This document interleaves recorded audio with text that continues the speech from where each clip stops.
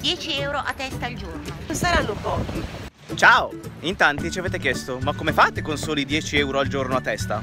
In questo video proveremo a spiegarvelo e vi diremo cosa mangiamo, dove dormiamo e come ci spostiamo. E allora vai!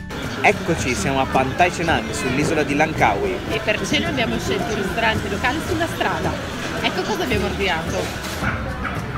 Questo è il nasi goreng ayam, cioè del riso fritto con del pollo e dell'uovo. Poi abbiamo ordinato uno squid sweet and sour, cioè un calamaro in agrodolce, da accompagnare con del riso bollito. E da bere un tè freddo e un caffè freddo.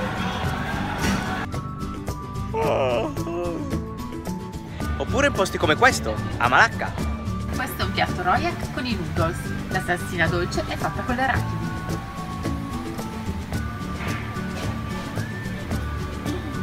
Stavamo passeggiando per le strade di Malacca e ci hanno invitato a questo banchetto. Non sappiamo cosa sia, ma il cibo è davvero buono. Noodles è tutto vegetariano, ma soprattutto gratis.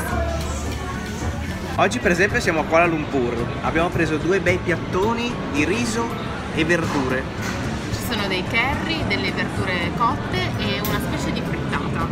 Il tutto per 8 ringgit al piatto, cioè 1,70 euro circa. buono. Questa è la nostra distanza Malacca. Ci costa circa 4 euro a testa a notte. Abbiamo uno spazio comune dove poter fare colazione. E caffè gratis. E poi c'è la nostra stanza. Questa è la nostra stanza, un po' incasinata, ci abbiamo già dormito una notte, con ventilatore. E questi sono i bagni. Un comune, ma abbastanza puliti, dai. Non ci si può lamentare. Ci siamo, oggi è il nostro ultimo giorno in Malesia. Da domani saremo in Birmania. Cerchiamo di capire quanto abbiamo speso. Per dormire circa 4 euro a testa a notte. Per mangiare 3 euro al giorno che includono pranzo e cena. E infine 1,50 euro per ora di viaggio sugli autobus. Poi altri piccoli sfizi che ci siamo tolti. Totale 9 euro a testa al giorno. E in Malesia ce l'abbiamo fatta rimanere nel budget. Vai!